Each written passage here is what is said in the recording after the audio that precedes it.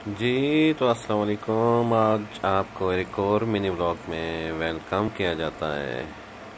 तो जी, हम रवा दवा हैं अपनी मंजिल की तरफ़ और आज बहुत ही शदीद गर्मी है। तो हमने सोचा क्यों नहीं आज बच्चों को ले के कहीं पानी वाली जगह चलते हैं नहाने के लिए। तो जी हम पहुँच जाए हैं पानी वाली जगह पे।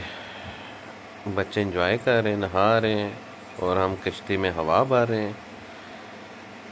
तो ये देखें, कश्ती में हवा के लिए हमने स्पेशल एक पंप रखा हुआ है।